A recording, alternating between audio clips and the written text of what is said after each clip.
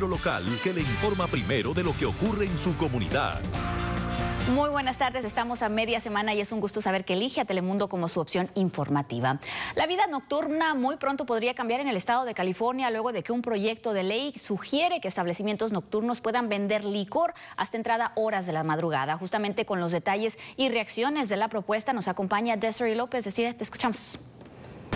Así es, Vanessa, un nuevo proyecto de ley podría extender el horario para vender alcohol aquí en el estado de California, algo que líderes locales dicen que podría ser una buena idea.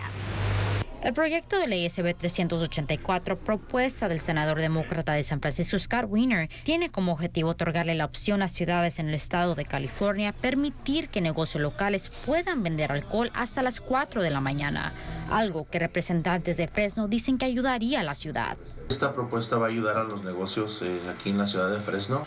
Parte de la licencia que se va a otorgar va a ser que un 30% de esos fondos, de ese costo de la licencia adicional, va a venir a la ciudad de Fresno.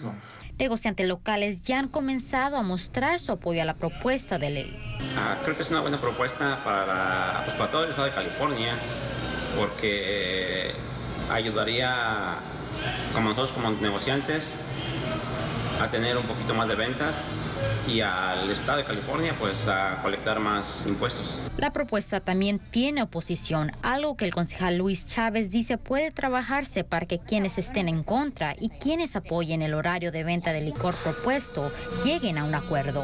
Sabemos que hay personas que abusan del uso de, alcohol. Podemos este, implementar programas para nuestra juventud para que sepan de, no tomar antes de los, de los 21 años. El Senado aprobó la ley, ahora falta la votación de los miembros de la Asamblea Estatal para que se convierta en ley. Miembros de la Asamblea votarán en las próximas semanas. En el centro de la ciudad, Yasri López, Noticiero Telemundo, Valle Central.